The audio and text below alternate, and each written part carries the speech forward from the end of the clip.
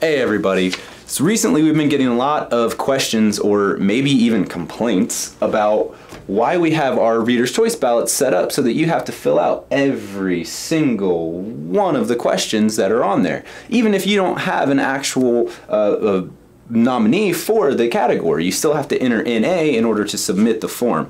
Um, the, the reason is, is really pretty simple in that we want to make sure that every answer we get on every ballot is useful and valuable to the community. Um, we don't want someone to just go on there and fill out 100 forms voting for themselves and not putting any other information on there. So making sure that every single question is answered helps ensure that we're getting real responses from real people that are really trying to help the community and the local businesses that they go to.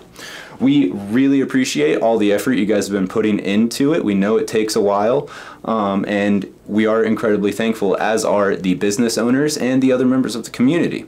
So you have just a few days left. I think there's only five days uh, on the day that I'm making this video, um, but depending on when you watch it, there might be less. So be sure to go online to Fauquier or PrinceWilliamTimes.com and get your ballot filled out, or you still have time to swing by the office and pick one up here, or you can write it right into middle spread of your weekly newspaper.